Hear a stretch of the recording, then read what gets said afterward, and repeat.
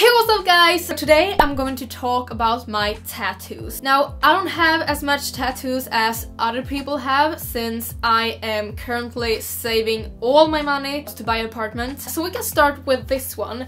This is my first tattoo. I made this one when I was 19 years old in a tattoo studio here in Sweden called Evil Eye Tattoo. So the tattoo is really simple. A cupcake, a blue rose with green leaves around and the text never give up. There's so many people who can't read the text because it's like, it's so cursive so it's hard to read. Uh, but it says never give up. This one took about five and a half hours, which went pretty well. The last hour was the worst one, since I've been going through pain for so many hours, so the last hour was like the most painful one. But otherwise, it went really well. I'm so happy with this one. Then we have these two diamonds here on my wrists. These ones I actually got last year, 2016. I made them in a tattoo studio in London called East Side Tattoo Studio. And this studio is between like Bethnal Green and Shoreditch. It took me like 15 minutes to walk from the tattoo studio to my place where I used to live. These are just simple blue diamonds. I know that so many people have these kind of diamonds. I wanted to have diamond tattoos on my wrists since I was 11 like 11 years old and I'm 22 years old now. So that's why I made them and I'm so happy with them. And how was the pain scale on my wrists? Well, these tattoos hurt a lot. I actually thought I wasn't able to finish them. They are pretty small, like, well, they're not too small, but they are pretty small uh, compared to this tattoo.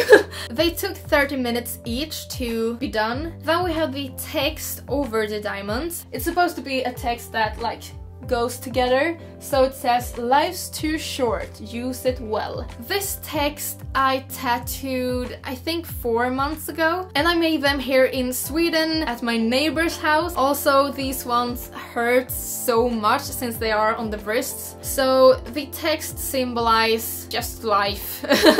you always know that life is too short, but when my boyfriend died, it really hit me like, I could die tomorrow. My mom could die tomorrow. My friends could die tomorrow someone I love could die tomorrow. So, I don't know, I, I always wanted to have a text over my diamonds here and I never knew what I wanted it to say, but after this shit, I just knew that this is the text I need to get tattooed. This is kind of a reminder for me to always live my life to the fullest and be happy. Then I have this small tattoo on my thumb here which symbolize a heart. This tattoo I also made at my neighbor's. And this tattoo is a symbol for my boyfriend who passed away. He was a big part of my life, even though we weren't together as long as other relationships I had. I just needed to have his memory tattooed on my body. This is just a simple heart. It could mean everything. So these are the tattoos I have at the moment. People always ask me if I'm going to make more tattoos and yes, of course, I'm going to make a lot more tattoos. I'm going to cover my arms, I'm going to have a chest piece.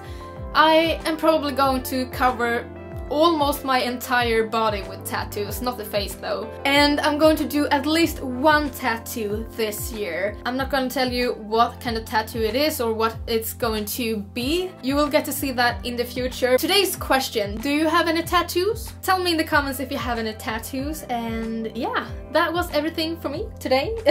Make sure to subscribe to join the Murderess Army. Bye bye!